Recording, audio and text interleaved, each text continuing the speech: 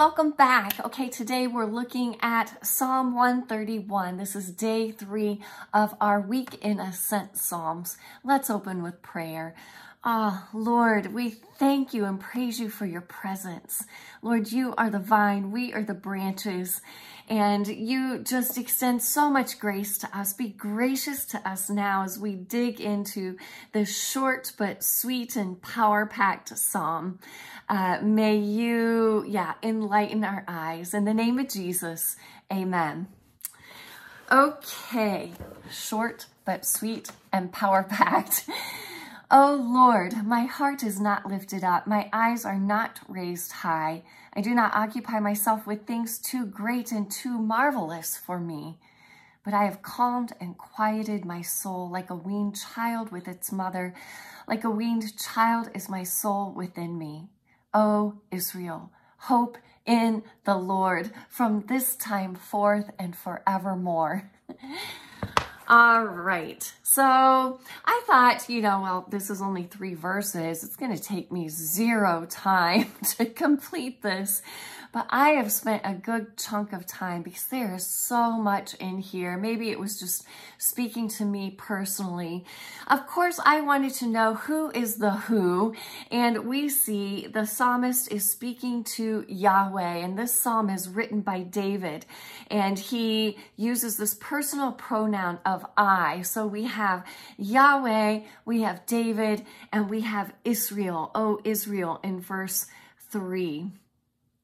So this is a combination of a personal psalm and a communal psalm, which is a little bit unique, right?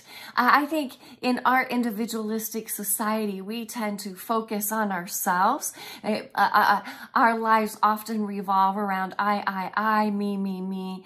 But we know that within Christ, within the family of God, it's about we.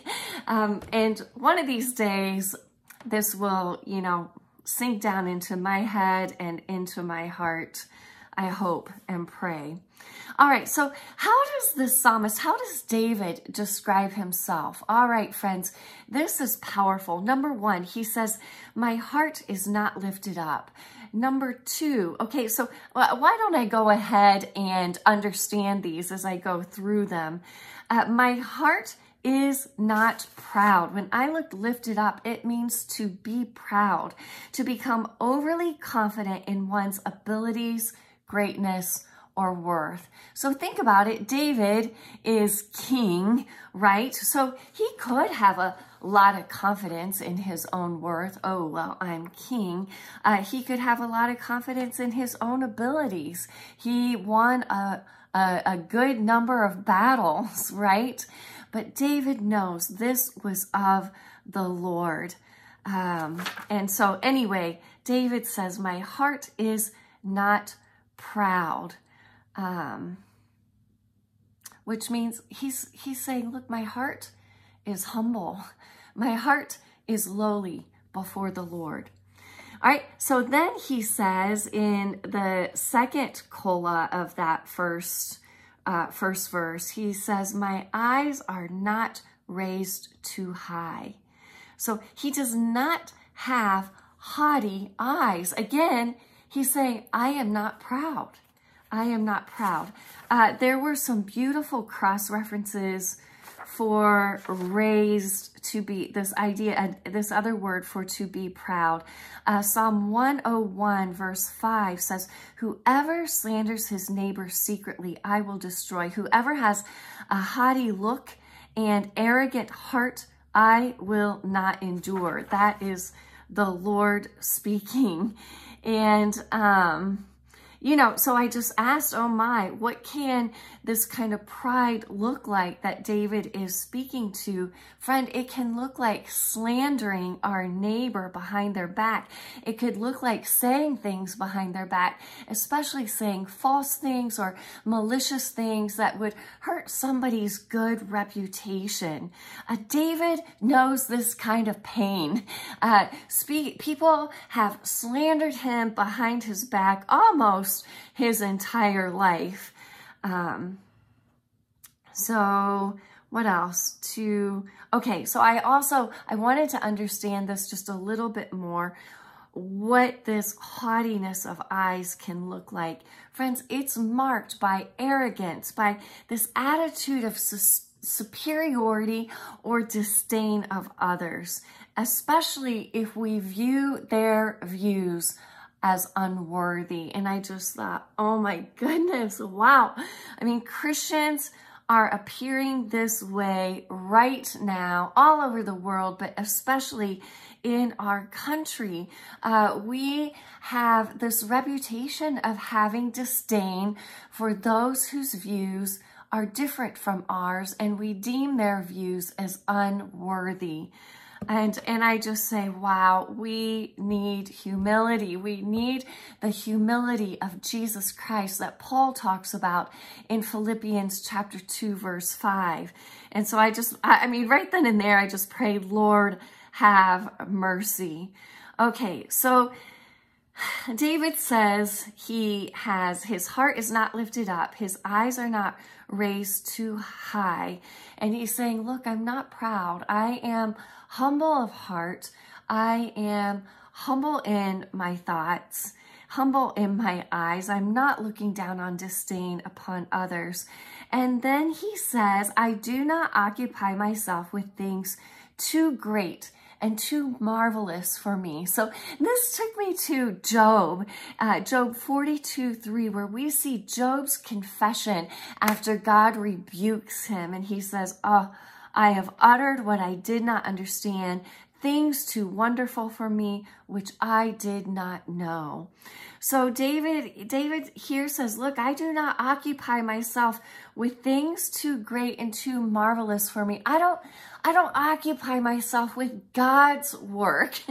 Uh, and, and I think this is once again speaking to doing things in our own ability, thinking too highly of ourselves, our own ability. Uh, we have learned in these Psalms, look, we, our strength is useless, right? Our strength is useless apart from the Lord. And that is what David is saying here. He's saying, look, I, uh, I, I don't occupy myself with those things that are of the Lord's work. But, he says in verse 2, I have calmed and quieted my soul like a weaned child with its mother. Like a weaned child is my soul within me. Like a weaned child with its mother,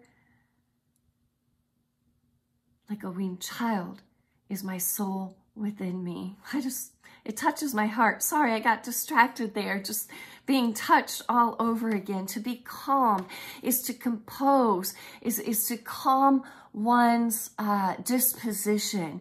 To be quieted is to make calm or still. Uh, this takes me to Psalm 46:10. Be still and know that I am God. Those are that's God's words to Israel. Be still and know that I am God. Uh, the cross reference here friends, this is, uh, for me, this was mind-blowing. The cross reference is Matthew 18, 3, where Jesus says this, Truly, I say to you, unless you turn and become like children, you will never enter the kingdom of God or the kingdom of heaven. Did you catch that? Unless you turn and become like children, you will never enter the kingdom of heaven. And so, therefore, David says, Oh, Israel, oh, Israel, what? Don't put your help in yourself, in your own strength. Put your help or put your hope in the Lord. Put your hope in the Lord from this time forth and forevermore. Friend, what are you worrying about today? What are you anxious about today? Uh, what are you trying to fix or control in your own strength today? This is saying, oh, Israel, oh, Carmen, oh, fill in the blank with your name. Put your hope in the Lord from this moment and forevermore.